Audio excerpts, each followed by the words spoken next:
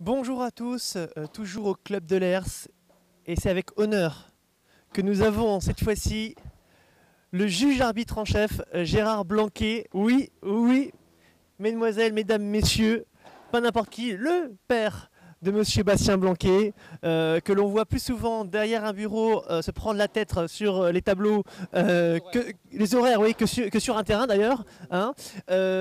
Gérard, comment ça se passe justement une vie de, de- de juge arbitre au MyPad du Tour et plus globalement une, vie de, de juge arbitre? C'est pas si facile que ça justement.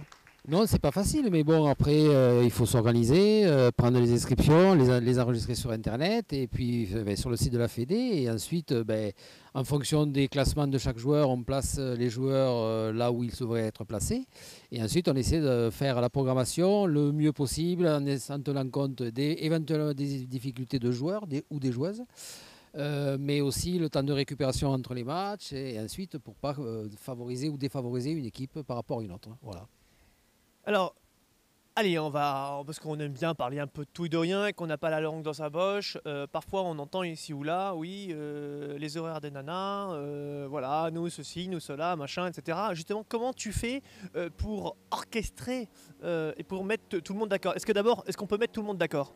Non, c'est pas tout le monde d'accord, c'est pas possible parce qu'en fait, suivant les, terrains où on a nous met à la disposition, euh, ben on n'a pas suffisamment de terrain au même horaire, au même euh, moment, et donc du coup, euh, ben on essaie de programmer au mieux. Alors c'est vrai que les filles, ben on les entre guillemets, on les désavantage un petit peu parce que ben, c'est un petit peu moins spectaculaire, même s'il y a des matchs très sympathiques et les filles très agréables à voir jouer.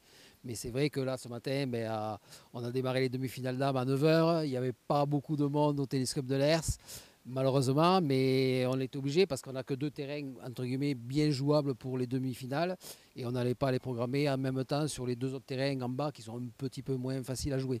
Donc c'est pour ça qu'on essaie de- d'organiser. Alors c'est vrai que des fois, ben, on défavorise euh, certaines équipes par rapport à d'autres. Voilà. Et puis on s'est rendu compte que finalement, les, les matchs les plus intéressants sur ces demi-finales, c'était les matchs dames, avec euh, deux très belles demi-finales dames, alors que côté messieurs, bon, c'est c'est semble aujourd'hui un peu expéditif, hein, on est bien d'accord. Donc parfois on se trompe aussi, hein, parfois on- Tout à fait. Oui, parce que là, la, deuxième, la première demi-finale, messieurs, ben, elle a été finie en 45 minutes parce qu'il y a un gros, gros écart entre les deux, les deux paires.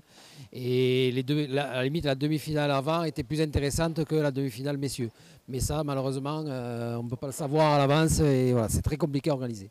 Alors concernant ton actualité, euh, on va te retrouver où?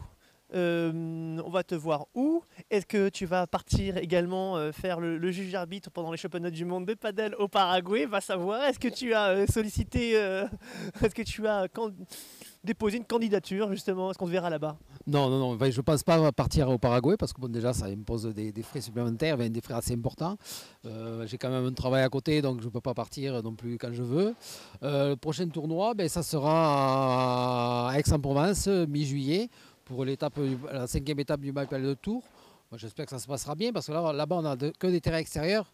Il fait toujours beau dans le sud, mais quand même, on était à Monaco il y a trois semaines, c'était pas terrible le temps, donc euh, j'espère qu'il fera très beau parce que on attend quand même beaucoup de paires euh, assez, sérieuses pour, euh, la candidature à la victoire.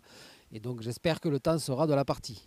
Eh bien, mon cher Gérard, je te remercie euh, beaucoup. Et vous voyez, hein, euh, Gérard, on ne le voit pas, mais je peux vous dire qui bosse, qui bosse, qui bosse, qui bosse, et qui parfois il se prend euh, la tête pour essayer de, de nous faire plaisir.